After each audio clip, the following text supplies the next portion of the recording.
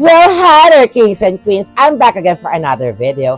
And for today's episode, pag-uusapan natin ang dalawang bags na meron ako dito. Alam ko sa inyo na ang dalawang bags na ito ay very, very familiar talaga kayo dahil ito ay isang Coach brand ng mga bags. At pag-uusapan natin maya-maya lamang ang mga bags na ito makalipas ang ilang sandali. Ako nga pala si Tita Barbara na nagbibigay ng knowledge and education about luxury and mid-range brands. However, para sa mga gustong mag-start out of life or gusto lang magkaroon ng knowledge about sa mga luxury brands after the finer things.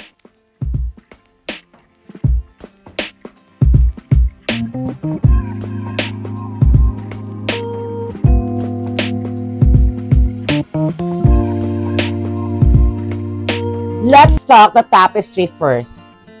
Tapestry acquires Capri Holdings for $8.5 billion. Tapestry ang parent company na nagmamay-ari ng fashion brands na sina Coach, Stuart Weitzman at Kate Spade New York na nakabili ng Capri Holdings na kinabibilangan ng Michael Kors, Jimmy Choo at Versace. Bakit kaya? Na nagmamarka ng landas upang maging isa sa mga unang pangunahing US-based multi-brand luxury conglomerates. Ang Tapestry Inc. at ang Capri Holdings ay nagpasok ng isang tiyak na kasunduan para sa transaksyon na magaganap. Ayon sa isang press release, bilang bahagi ng deal, ang mga shareholder ng Capri Holdings ay makakatanggap ng $57 bawat share sa cash na nagkakahalaga ng deal sa himigit kumulang na 8.5 billion dollars. Lugi kaya si Capri, kaya binenta? Pag-uusapan natin yan mamaya. Let's proceed to our next story about Capri Holdings. Ang Capri Holdings ay itinatag ng famous designer and my favorite designer na si Michael Kors noong 1981. Kasama ang kanyang namesake fashion brand bilang unang luxury label Actually, dalawa ang line na kanyang brand, such as Michael Michael Kors and the Michael Kors Collection para sa kanyang mga runway products na mas maganda, mas artistic at mas mahal. Pero when it comes sa Capri Holdings, the two lines are as one sa portfolio nito. Binili nito ang Jimmy Choo Limited noong 2017 sa halagang 1.2 billion dollars. Noong tinawag pa itong Michael Kors Holding Limited. Pero binago ang pangalan ng bilhin ito, bilhin nila ang Versace noong 2018 sa halagang 2.12 billion dollars.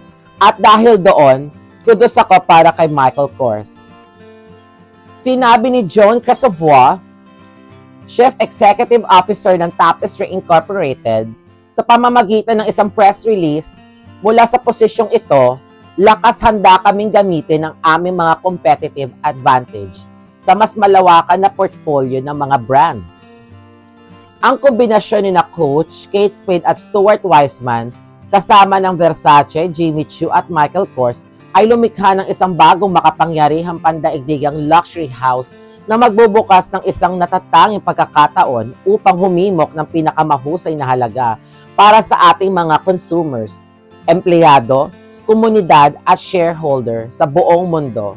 Note, sana sa chance na yan, umanib din si Tory Birch at Provenza Schooler balang araw para mas mapalawak pa ang Tapestry at Capri Holdings.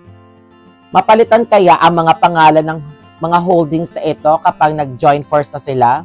Hindi ko pa alam ang sagot dyan. Let's talk about Tapestry Incorporated.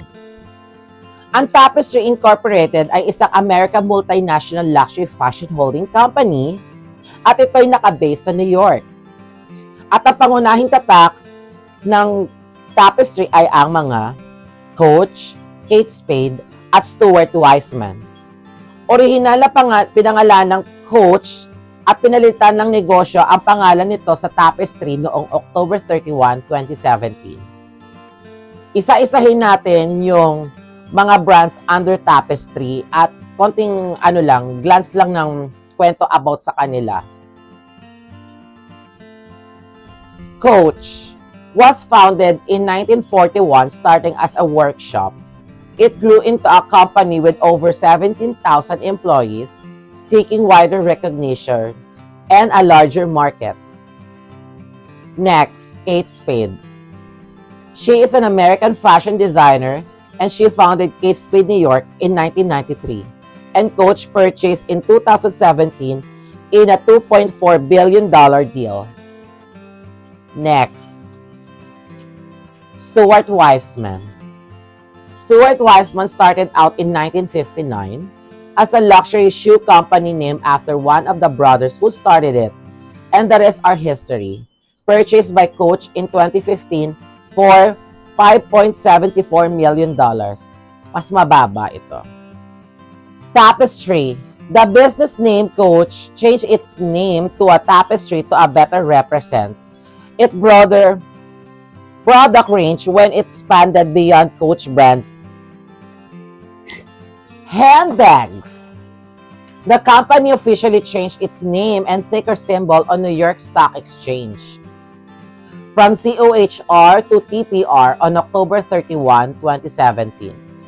Most of these products are accessories such as handbags, SLGs, keychain, shoes, perfumes, and others such as apparels. In the late July 2020, the company named Joan Casavoir Tapestry CFO since 2019. The, the new CEO she became the 36th female to lead a Fortune 500 company. My own thoughts. Maganda sana kung may kompetisyon sa pagitan ng Tapestry at ng Capri Holdings. At kanya-kanya silang pagpapalawak ng mga sangay sa sales at creativity ng designs. Nakakalungkot kasi isipin na sa investment mo o sa matagumpay na Capri Holdings ay biglang malulugi at hindi ko maintindihan kung bakit ang LVMH na ultra luxury ay namamayagpag. Hindi kaya dahil sa magaling ang kanilang uh, relationship to the customers or meron silang uh, magandang pagpapaikot ng sales sa kanilang mga items, products, or whatsoever. Samantalang ang mas mura na Capri, except nga lang sa Jimmy Choo at sa Versace, pero I believe na ang consumers ng Capri Holdings ay may middleman. Hindi kaya dahil doon, from distributor, may middleman, tapos bago pa yung consumers. Unlike ng tapestry, from distributor to consumers, at alam nila yung relationship nila sa customers nila, kung ano yung mga kailangan, ano yung mga uh, needs and wants, 'di ba? Mga Parang ganun, ipagpalagay natin ganun. Distributors to consumers, they are direct to the customers. Furthermore, yung price range ng coach ay nagtaas. Kaya siguro nag-increase din ang Michael Kors to compete the tapestry, such as Coach, Kate Spade, and Stuart Weitzman. Kasi that four brands are the much cheaper or affordable. I don't know kung matutuwa ako on the other side dahil ang promise ni John Casavoir na ang combination ng coach, Kate Spade, and Stuart Weitzman, together with Versace, Jimmy Choo, at Michael Kors, ay magte-create daw ng bago at mas makapangyarihang global luxury house, unlocking a unique opportunity to drive enhanced value for the consumers, employees, communities, and shareholders. Save ang lahat mula sa pinakamababa hanggang sa pinakamataas hanggang sa, pin- sa mga consumers. Para sa akin, kung ganyan na lang ang palagay ng mga tao, even ako na consumer, siguro sa paglipas ng mga taon, mas palawakin pa nila at bilhin nila kunwari ang Tory Burch at Provenza Schooler. Both of them are private and at the entry level of accessible fashion. I imagine the future of tapestry and kamusta naman si Michael Kors that time. Let's proceed to our next. What does Capri Holdings brings to the table?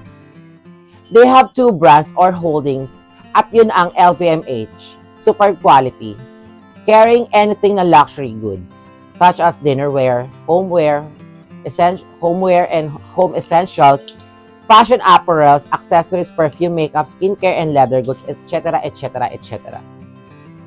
Tapestry needs to introduce aspirational to the products concerned to their customers. Listen to the needs and wants of the season, ano ang dapat baguhin, tanggalin, at iritin. Also, need ba ng enhancement sa design? If they think need nila ng artisan for a season para sa mga enhance ang mga designs, particularly sa mga apparels and leatherwares, aside sa concern to their customers, dapat may intimate relationship din sila at pakinggan kung ano ang mga needs and wants ng mga customers. The good thing about Tapestry is meron silang alternative like outlets na nagbebenta ng much affordable quality but not superb like us on the stores. For at least lahat ay merong Coach and Michael Kors dreams. And focus of building a brand, making a credible source for example like Gucci and Louis Vuitton, they have a very aspirational. Dapat they arrange on, a on tapestry na ang mga products are is on a proper for this season. For example, all leather goods in pastel colors or in or all in denim. Kunwari lang, parang ganun ang isipin natin.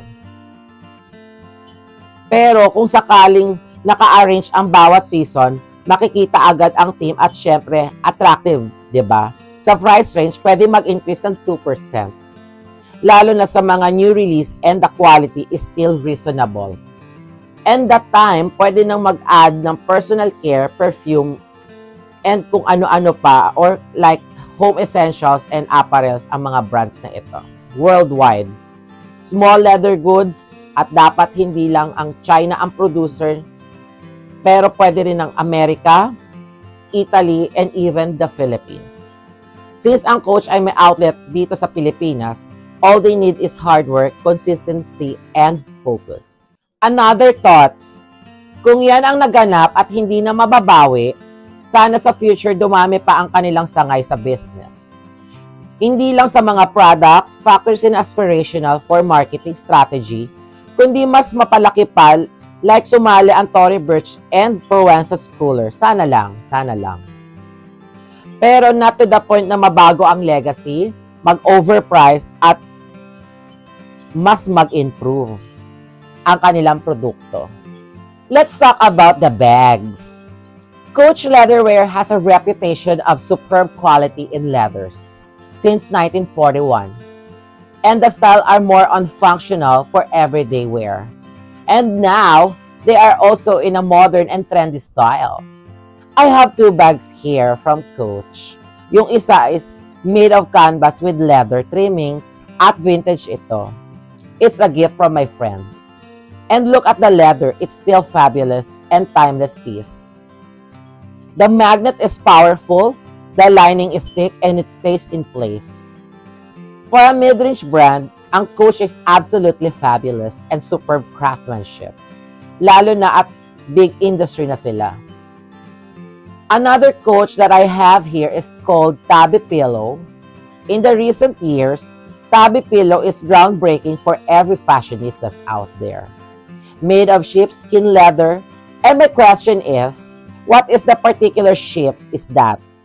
Because the resilience of the skin is so rich, well, not as much like Chanel, pero for affordable luxury, that's incredible, beautiful, and comparable to Kate Spade, Michael Kors, and Pinko. Coach Tabby Pillow Leather is robust. Above all three brands, aside from the leather har hardware, is also expensive. The thick hardware are made so well. They have gold, silver, and rustic, or maybe my chrome din. My advice before go shopping, do a research about the item, check the details, the size, na fit to your lifestyle. And of course, the type of leather and color. Mas mabuti nang may alam. At i-check na din ang quarantine ng items. Kahit ano pa yan na luxury brands tulad ng bags, SLG shoes, jewelries, and apparels, mas need gawin ang mga check-ups na ito, lalo na kung bibili online, such as Zalora, Vestiaire, Farfetch, or The Real Real. If you are asked me to kung may value ang coach, well, wala. Hindi pawnable ang coach. Pero, pagdating sa longevity or sa absolutely na tibay ng coach, nagtatagal ang brand na ito. Basta may tamang alaga at pahinga. Sana may natutunan kayo for this episode and uh, I know naman sa inyo kung hindi kung hindi nakakabili ng mga ganitong products or ganitong mga brands pero gusto ninyong matuto. I believe na maraming gustong matuto pagdating sa luxury and fashion. So, hanggang dito na lamang ang aking vlog. By the way, I am Tita Barbara and if you're new in my channel, well, hi, hello, welcome. Don't forget to like, subscribe, and hit the notification bell down below. I hope to see you soon again. Bye!